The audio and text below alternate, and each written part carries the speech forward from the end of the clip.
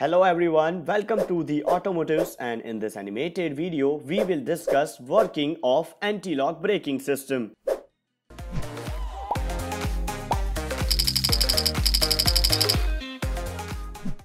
Nowadays, almost every car is equipped with most popular technology of braking, the anti-lock braking system. Surprisingly, this system improves the vehicle handling dramatically while braking. Today, in this animated video, we will cover this amazing technology. In this video, we will include what is ABS, why it is equipped in the vehicles, constructional details of anti-lock braking system, and working of anti-lock braking system. ABS stands for anti-lock braking system and the main function of ABS system is to prevent the wheels of vehicle from road skid while braking. This thing is achieved by eliminating the locking of wheels while braking. So it's called anti-lock braking system. When driver suddenly applies the brake, braking system lock the wheels of vehicle. This causes the wheel skid, which results in poor handling.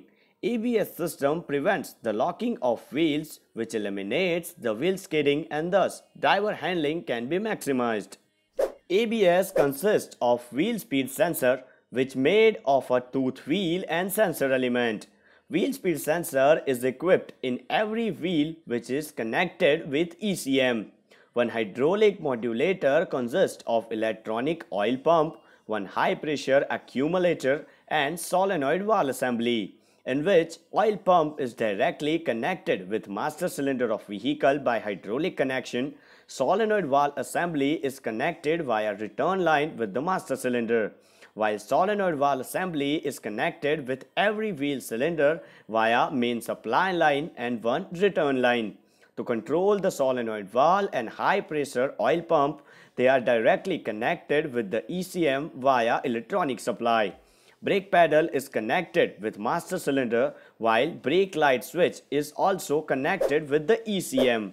When driver applies the brake with help of brake light connection, ECM detect the movement of brake pedal and determine the speed of vehicle with wheel speed sensors. Whenever brake pedal is pressed, oil from master cylinder goes to modulator. In modulator, ECM activates the high pressure oil pump, which result in increase in oil pressure. This high pressure oil is stored in high pressure accumulator. Now using data of wheel speed sensor, ECM actuates the solenoid valves and thus high pressure oil is supplied to the wheel cylinder of each wheel. This brakes the wheels and cause the locking. As soon as the locking starts on the signal of sensor, ECM release the pressure of oil by closing the supply valve and opening the release valve simultaneously. This process repeats until vehicle slows or completely rests as per the driver's input. This ensures the efficient braking of vehicle with minimum amount of skid. This process is so fast that you can't even feel while braking. ECM works on almost 8000 pulse per second for efficient operation of braking. With this method, most efficient braking can be achieved. Thank you for watching guys. This is all for today. Please give a thumbs up on this video and subscribe to our channel The Automotives. Please hit that bell icon so you get the notification whenever we upload this kind of cool animated video. Thank you for watching again. Peace out.